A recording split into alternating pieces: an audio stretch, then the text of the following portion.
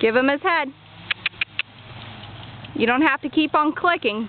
Just once you start clicking and he's trotting, just don't click anymore, okay?